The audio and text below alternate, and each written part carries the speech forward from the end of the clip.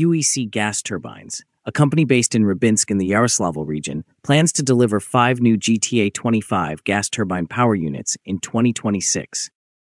The total capacity of these units will be 112.5 megawatts.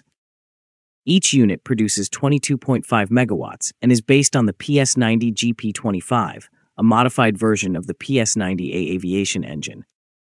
Four similar units are already operating at a thermal power plant in Crimea, demonstrating their reliability and efficiency. The UEC gas turbines plant in Yaroslavl manufactures the GTA 25 units.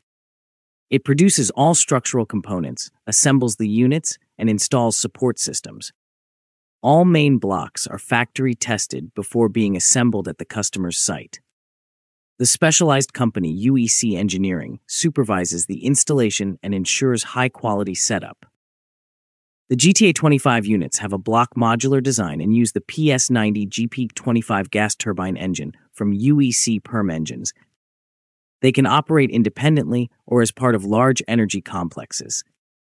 The five new units in 2026 will create a unified energy system, ensuring stable power for industrial and municipal facilities. The block modular design simplifies transportation and reduces logistics costs. Factory tested pre assembled blocks speed up installation and commissioning. This is critical when there is an urgent need to increase power capacity. GTA 25 units have proven effective in real world applications, especially during electricity shortages. The four units at the Saky CHP in Crimea successfully met power supply demands. These units allow fast responses to higher energy needs, minimizing delays and ensuring uninterrupted electricity. The PS90A engine was developed by the Soloviev Design Bureau in the 1980s for aircraft like the Tu-204 and Il-96. It became the basis for the GTA 25. Since 1989, the Perm Enterprise has serially produced the D90A aviation engine. The GTA 25 uses the PS90 GP25 for ground based gas pumping units. Transferring aviation technology to power generation gives the GTA 25 high efficiency, durability, and reliability. The GTA 25 is an automated block container unit with 22.5 megawatts nominal capacity. It can operate alone or within complex energy systems. It can run in parallel with the electrical grid and integrate with turbo generators that share the same operational characteristics. This makes it highly adaptable for different power configurations.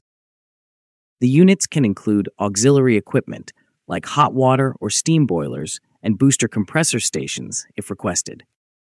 This improves heat and energy efficiency and expands applications. They supply electricity to both residential and industrial users and can operate on various fuels, including natural gas and associated petroleum gas. This enhances economic efficiency and environmental safety.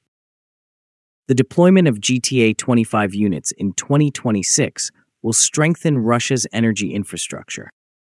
The modular design allows rapid deployment and flexible fuel use. Aviation derived engines make these units reliable and efficient. Their introduction supports national energy strategies and improves Russia's energy independence while meeting growing electricity demand. If you like this video, please like, share, and subscribe. Also, please take our channel membership, which is very affordable, to encourage us.